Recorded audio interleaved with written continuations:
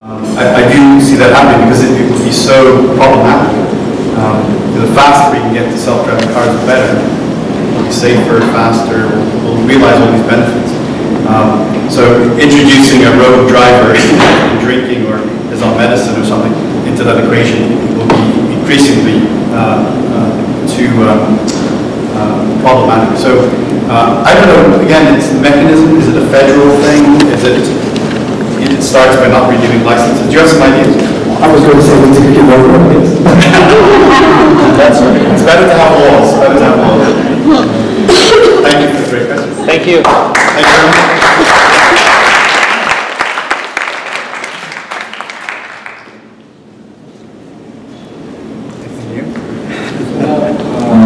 Second guest speaker, um, глубокий интерес к настоящему закону и за лечение гражданства и понимания аутизма здесь, да, но у нас тайны верно, я думаю, Владимир Горбан,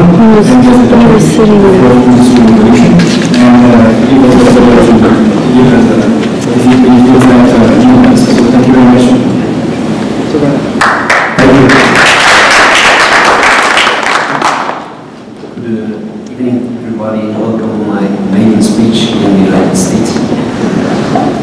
My name is Koen I'm chief economist at BNP Paribas Fortis, but uh, before that I was senior economist at KBC, one of our competitors. Now, when you asked me to be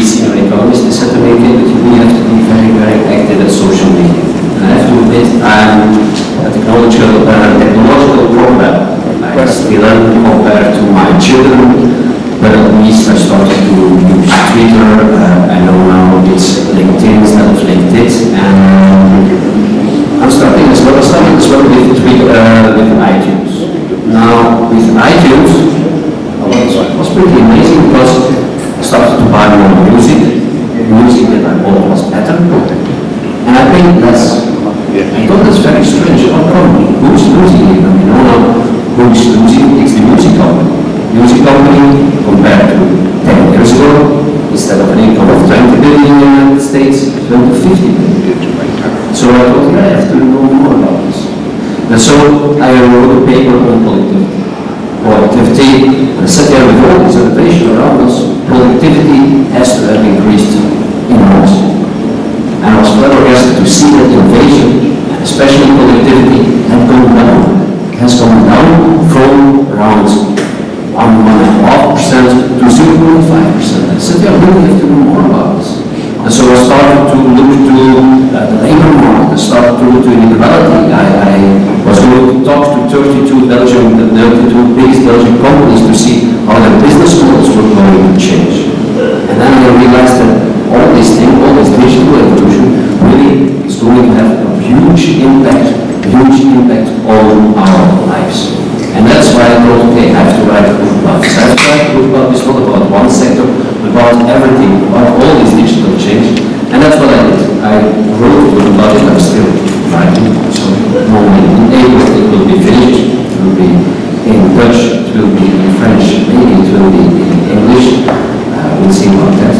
And I'm looking there about what has happened in social, uh, in society over the last 30 years, and I'm looking therefore to what's going to happen in the coming 20 years. And if you want to do, uh, if you want to make it difficult, you can see a very dire future. But I think it doesn't have to be a predefined future. It can be very positive as well. And that's a little bit what I'm going to talk to you about. And I'm going to talk to you about it and start to talk to you about my first, uh, not that one, uh, about my first discovery, and that is the productivity. So first, productivity growth. If we look at productivity growth, why is productivity important for the economy? Economic growth is, first of all, increasing productivity. Second, to increase in the number of hours worked. Now, if you look at this graph and you look from 1 to 1,800, you see there was hardly any economic growth. Why? Because yeah, the number of people was increasing, the number of hours worked were increasing, there was no productivity. And then all of a sudden, in 1800, was the first industrial revolution. My colleagues have explained what was the, the first one, the second one, the third one, the fourth one. And then see an explosion of productivity and an explosion of wealth. Productivity equals wealth. Because if you work people, you the economic growth by more people. But productivity increased in, say, the number of cars that you make in one day, that is increasing wealth. And so productivity is hugely important.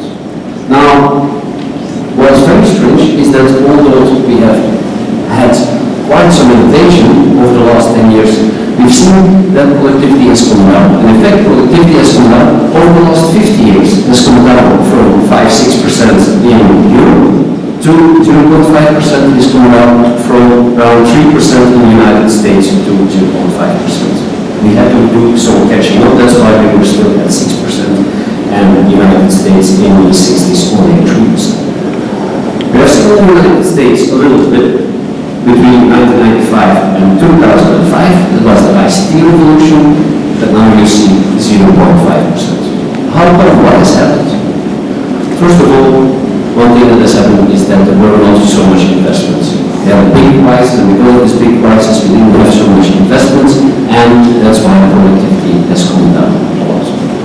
Second of all, we don't measure very good the improvement in productivity. We don't measure very good the, uh, the, the, improvement in, in quality. For example, when you have an iPhone, an iPhone, it's not being, uh, when you have buy an iPhone, let's say, five years ago, you have an iPhone today, it costs the same. The iPhone today is much better than an iPhone five years ago. And that is not being translated in statistics. But what I think is most important is the following thing. I think today, what we've seen today, is that we have product innovation maybe instead of a process innovation. What we've seen in the first and the second industrial revolution is a process innovation. Instead of making one telephone, because of uh, new process, we can make in one day 10 telephones. That is process innovation. You make much more telephones, you run much more cars in the same time. And so that is why your productivity is increasing hugely. What we see today is product innovation. Product innovation saying that we have much better products, that we have much better phones, much better phones, iPhone for example, but on the other side, you see that this iPhone comes in the place of music, MP3, uh, as well the GPS, the camera, all these other things. So you have very nice products, but the problem is it's coming in way of this. And if you look at then you see that some companies are hugely innovative, but because of this process innovation, because of this product innovation, other companies are hugely dead.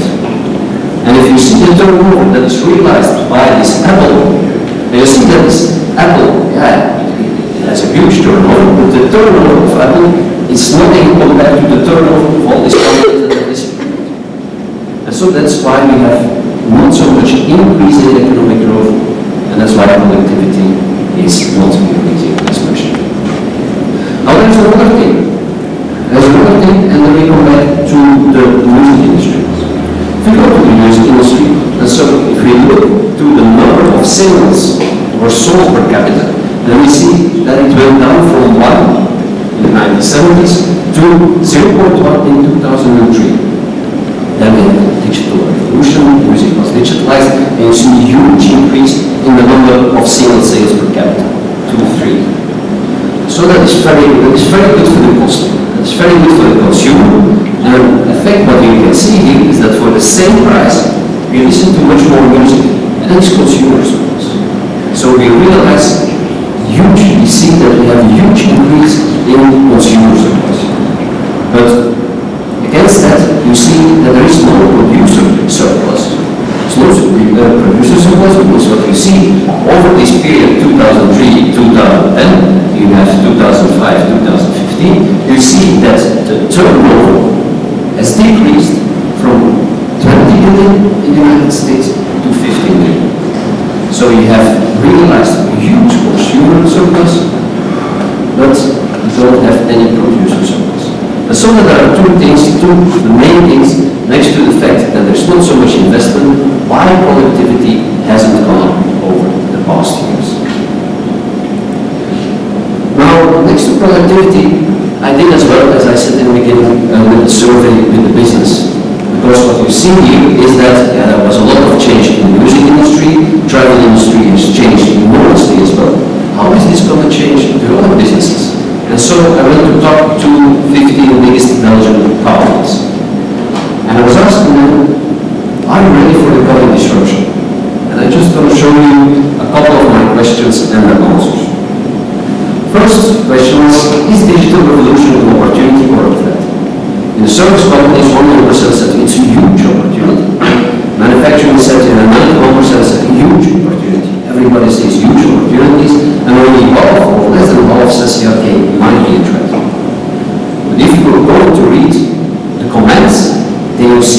lot of them saw as well a. They didn't say it there, but they said it in their comments. For example, my former employer, KBC Bank, said, okay, if you move too early, you lose your whole rights if you're going to go to an online bank.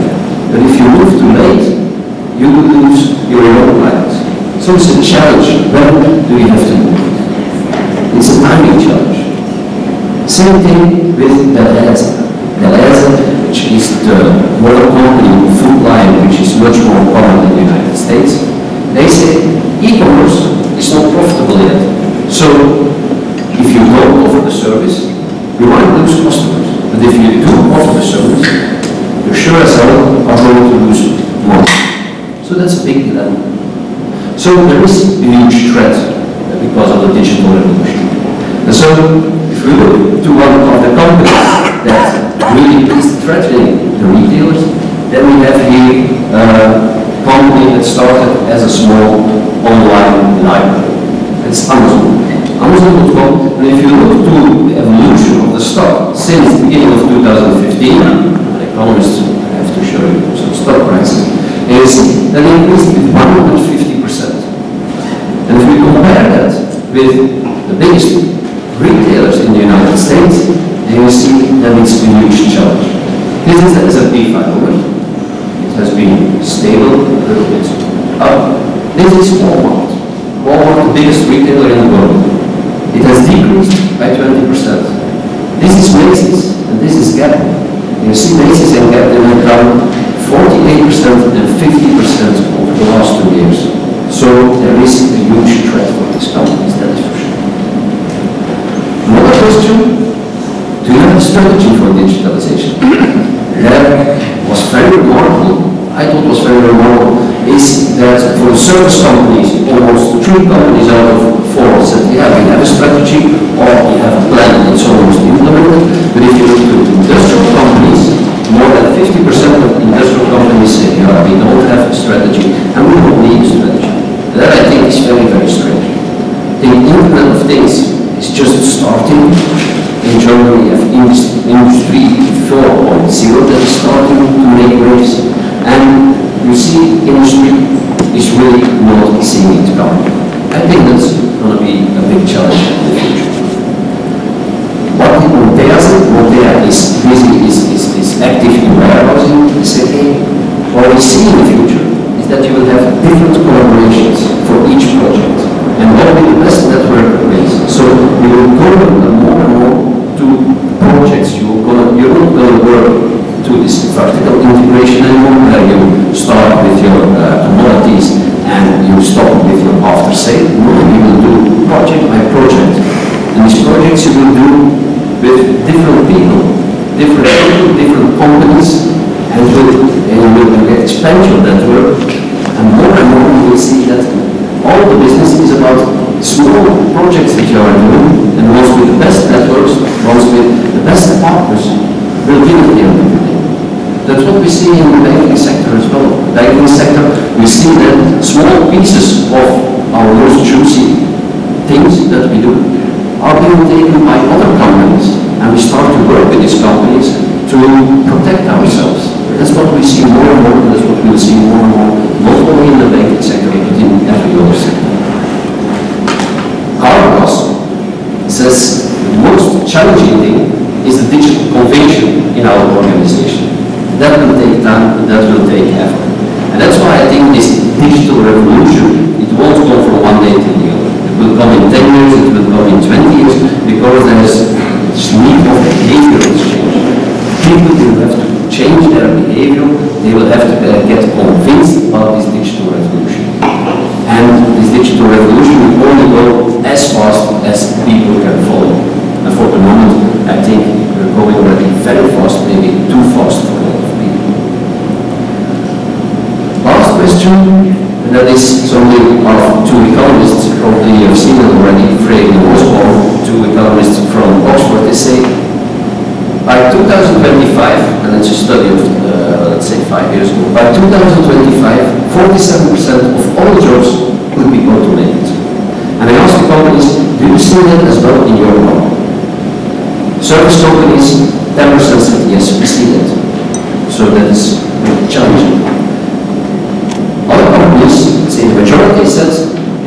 industry as manufacturing, no, we see more automation. We see more automation than today, meaning that we see more loss of jobs than today. And that is something that I want to go into, into my third point.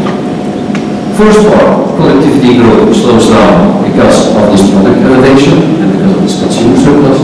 Second, ready for disruption. I think service companies more or less ready, but I think the industrial companies are not all ready. Now, what does this all do with society? I think it had, as a result, higher inequality. If you look over the past 20 years, and this is a graph with uh, all uh, European countries, Ireland, Belgium, Spain, United Kingdom, you see here the change in the occupational employment share in the low, middle, and high wage class. You see, for example, for my country, that the middle class, the change in occupational employment share has come down to 12%. So there are less and less people that are working in this middle income class. More uh, in the high income class and more in the low income class. And that is the evolution over the last 20 years. So minus 12% in share of the middle income occupational class. Now, this is not something new. We've seen this before. We've seen this before in the second industrial revolution.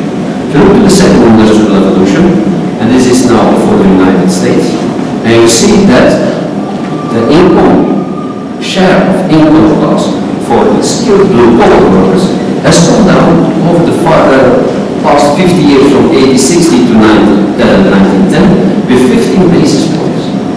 15 basis points is more or less the same as what happened in Belgium. On the other side, you see the share of occupational uh, employment in high income, white collar, and in the low income, operative and skilled, you see it up with uh, in total 50%. So it's nothing new what is happening. We've seen this thing before. Didn't see before is another revolution. The other revolution is the winner take all economy. What we see over the last 10 years, in fact, from the time that digitalization entered the economy, is that 10% of the most productive, of the most profitable companies have seen their return on equity, or return on capital employed, increase from 40% to 100% and more. And now, if that's all time, all companies, and these companies change all the time, that is no problem. But these companies that realize a return on capital employed or return on invested capital, that realize a return on invested capital of more than 80, 100%, it's all the time the same. So there really is a winner-take-all economy because of this digitalization. And that, together with what we just discussed, is giving huge inequality. Huge inequality because these companies as well distribute their big profits with their, uh, with their employees. And so if you're very lucky that you're working for Google, Facebook, or GAFA, or probably as well in Silicon Valley, and your company is profitable, then you will realize big gains, big salary gains as well. If you're not that lucky, and you work, for example, in industry, you will see probably your salary going down, or not going up as fast. And that's what we see what we saw over the past 30 years. I've taken it from 1967, uh, but in fact, the divergence started in 1982. And you see the top five of earnings, of people with the biggest earnings, have come up with 90% over the past 30, 35 years. Top 20% has come up with 75% their salaries.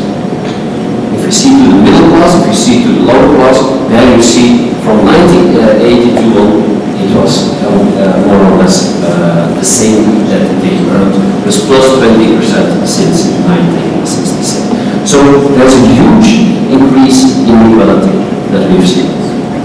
Now also that we've seen before. That is the, bit more scary. If you look to the top 100% and uh, what they divide in total American income, the top 1% distributes about 20%, 18% of total American income. It's about the same as at the start of the Great Depression.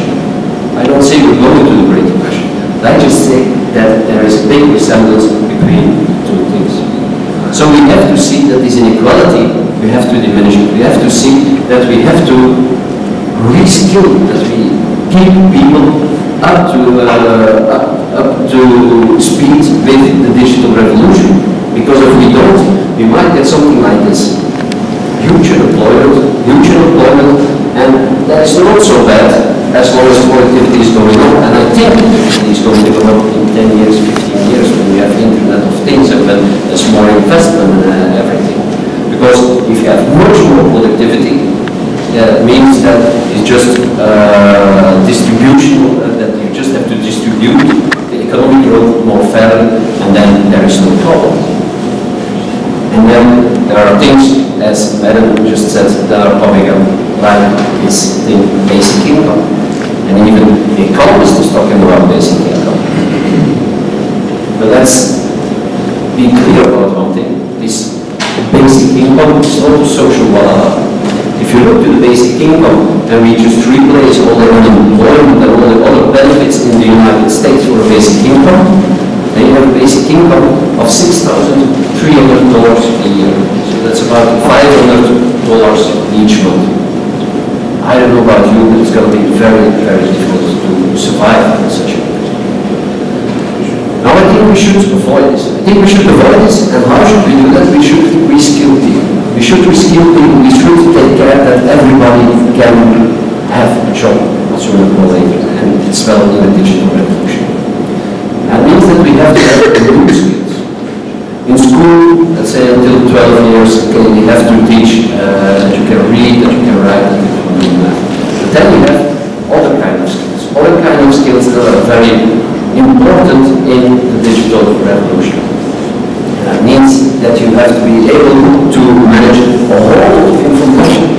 means that you have to be socially intelligent, emotionally intelligent.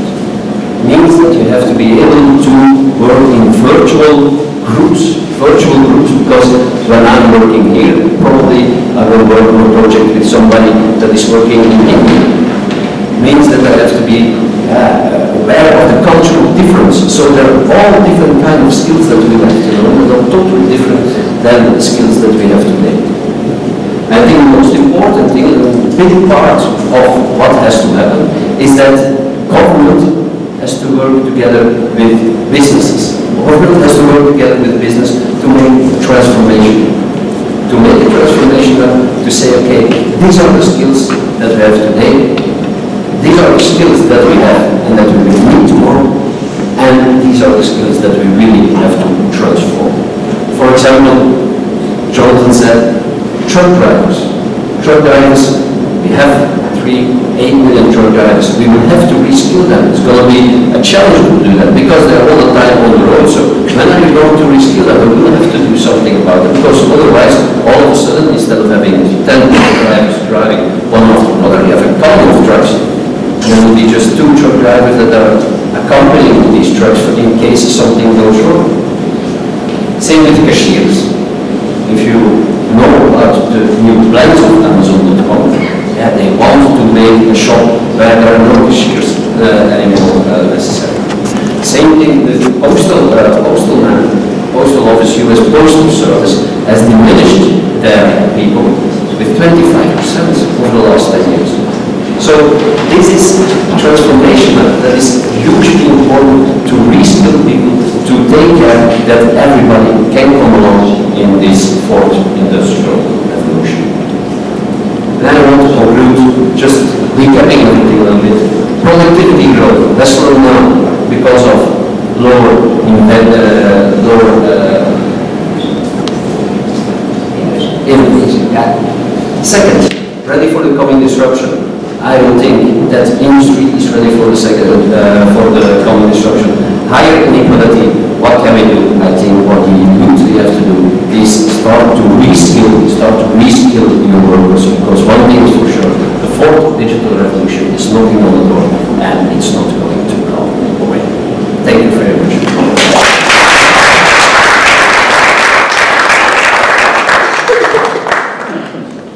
We do have time for one or two questions before uh, jumping on the one engineer. Any question? Any question? Okay, thank you, Ken, for the presentation. Uh, I think we have time for networking and for enjoying the wine which we you have behind. So please, uh, and the cheese, which is uh, coming out of the fridge in one second. And so thank you all. And yeah, you, we have like 45 minutes to go, so time to chat for a year. Um, so,